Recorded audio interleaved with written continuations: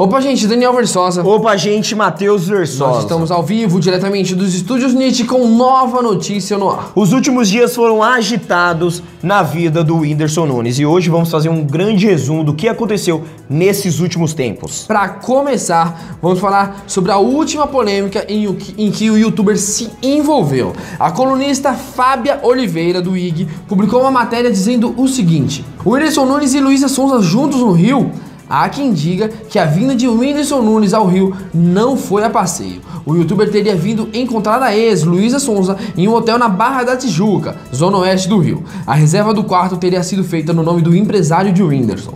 Tudo no sigilo, tudo no esquema. Cipa tem, valeu. O Whindersson respondeu à colunista escrevendo o seguinte: Essa Fábia Oliveira deve ter algum fetiche em eu encontrar com Luísa em um hotel. Ela quer que seja num hotel. Mas como sei que não adianta ficar desmentindo tudo todo dia, queria pedir um favor a todos vocês, artistas, que já foram prejudicados por notícias imaginárias e falsas dela. Me chamem no WhatsApp ou DM, vou montar um documento que ou ela para com isso ou vira roteirista de ficção. Mas agora vamos falar sobre a treta entre o Whindersson e Felipe Neto. Se você ainda não viu nosso nosso último vídeo, recomendamos que vocês assistam para entender tudo que aconteceu entre o Felipe e o Whindersson. Enfim, vamos lá. O Whindersson foi pro Rio de Janeiro e tweetou o seguinte: Tô aqui no Rio, Felipe Neto. Quer abrir as portas da sua casa para mim? A gente pode discutir como ajudar o país ou tu quer peidar para dentro igual todas as outras vezes que tentei conversar com você. Vida real mesmo. Minha segurança é a mesma que a sua.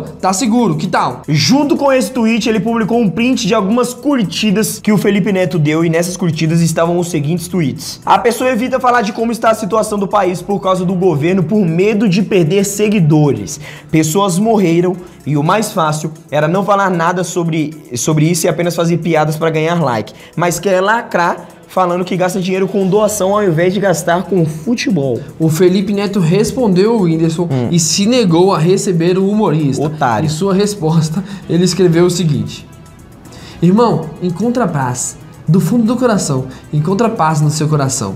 Desejo realmente que você supere isso tudo e um dia a gente possa conversar direito, sem você estar assim. Até lá, te desejo melhoras. Abraços. Minha briga é com esse desgoverno, todo o resto é irrelevante e só desejo paz, harmonia e principalmente terapia. Eu sempre recomendo terapia para todos nós, sempre, inclusive para quem não sente nenhum sintoma. Caso vejam alguém tirando meu, de contexto meu tweet, desejando mais terapia para todos, ajudem a desmentir, por favor. Otário escroto. E agora chegou a vez de mostrarmos o cara que mais lambe a pica do Felipe Neto. E eu duvido vocês encontrarem alguém que mais baba ovo do que esse doente, esse careca. E eu vou falar, se achar eu dou 100 reais. pra qualquer um que achar. Estamos falando de nada mais, nada menos que o Clayson, aquele pangarezão. O cara que na biografia de seu Twitter coloca amigo do Felipe Neto. Aí gosta depois de passar de, uma vergonha, hein? Depois de ver a briga entre o Felipe Neto e o Whindersson, o Clayson, como um bom capacho, resolveu ajudar seu chefinho. De toda essa loucura do Whindersson revoltadíssimo porque o Zé Passini pediu para ele investir uma grana no Vasco, o que mais me intriga é esse app de tornar buracos nas estradas fluorescente. Juro que não é piada, porque ele fala em tom sério. Mas se não é piada, como não rir disso? O Antes usuário... de mostrarmos a resposta do Whindersson, um usuário respondeu o Clayson escrevendo: Faz isso de novo. Você, você se descreve oficialmente como amigo do Felipe Neto na sua bio. Juro que não é piada, porque você fala em tom sério. Mas, se não é piada, como não ria disso? Aliás, esse trouxa aí já começou passando vergonha falando que é um aplicativo e eu vou ler exatamente o que o Whindersson falou e vocês tirem suas próprias conclusões, até porque não é muito difícil de entender. Tô financiando uma pesquisa para um motor adaptado para motorizar qualquer tipo de cadeira de rodas em um dispositivo que deixa uma mancha fluorescente nos buracos das estradas para ninguém se acidentar à noite, já que não tampam os buracos. Tapam. Não tapam, né? Não vou gastar nada com o time, só torcer. Tá aí, otário. Otário é um bravo, passou vergonha. Agora voltando a falar sobre o Whindersson Nunes, que inclusive eu amo. Ele respondeu dizendo o seguinte: Mentira, alguém pediu para eu investir, eu disse que não. Esse Zé Passini disse: "Por isso que você é corno. Não é um não é um aplicativo.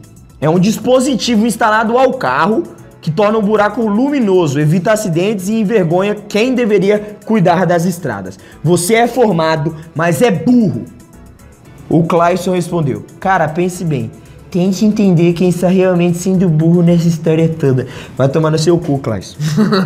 Ele seguiu falando. Aos 4 anos, o Whindersson disse que iria criar um aplicativo para tirar as pessoas da depressão e que isso iria revolucionar o mundo. Agora, esse dispositivo que deixa buracos fosforescentes. Daqui a pouco, ele vai deixar pessoas depressivas fosforescentes e mandar todos para uma rave. Tá aí. Quem riu dessa piada, eu vou dar 200 reais. Quem riu, deixa dislike. Não, quem riu sai do, do vídeo e se desinscreve do canal. Por favor. Quem riu? Nas respostas do Clayson, usuários escreveram o seguinte. E eu odeio o Clayson. Só um ponto? Foi, o usuário não escreveu isso daí não, vale destacar. Foi eu que falei. Então vamos lá. Clayson, não defenda o Felipe nas tretas do- de Twitter. Pelo menos não incondicionalmente. Só ridículo. Por quê? O Whindersson estava na paz quando foi ofendido por um dos protegidos do Felipe sem que o piauense fizesse nada. O Felipe nem sempre está certo, se liga. Vocês perturbam a cabeça de um cara que acabou de perder um filho, que vem de uma série de sofrimentos e fazem isso usando o relacionamento com a, pessoa, com a pessoa que ele amava muito, distorce a situação em favor da zoeira e humilhação alheia. O cara fica puto e responde e vocês não gostam. Que desnecessário, cara. Na moral, começa a seguir o cara porque acha ele inteligente, tem um papo cabeça, aí começa a se comportar como um moleque de 10 anos por causa do mimado do patrão. Foda, viu? Deixando de te acompanhar, Clayson. Melhore e volte a ser o homem consciente de antes. Não é por nada não, mas uma pessoa que precisa colocar na bio amigo do Felipe Neto pra ser algo na internet não pode manter a fachada de que é um cara consciente. Eu acho que já tá bom. Acho que já deu pra mostrar bem o que as pessoas acharam, né? Do que foi comentado por esse careca. Isso é um mongoloide. esse doente. Que só fala merda. E que ele não passa de um baba-ovo do Felipe Neto. Ouso dizer que o maior baba-ovo de todos os tempos. Tá? Otário bravo. Enfim, rapaziada, por enquanto é isso. Não se esqueça de clicar em gostei e de se inscrever no canal para acompanhar as próximas notícias. A edição do New York Treta vai chegando ao fim e eu vou falar. Você vai falar mais? Eu quero desafiar o Klaus por luta de boxe. Se eu pegar ele no mano a mano, eu vou Então, chegar cheio de não, deixa- tá, vai, chama. E aí, Klaus, vamos trocar um soco no ringue com regra? Eu te desafio, seu pangaré. Eu vou quebrar ele, mano. Pode pá? Pode. Pelo Windows que eu amo muito. Fechou. Gratidão. É isso, rapaziada. Ficamos por aqui. Falou. Faz o W. Ficamos por, A edição do New York Treta vai chegando ao fim. ficamos por aqui. Falou.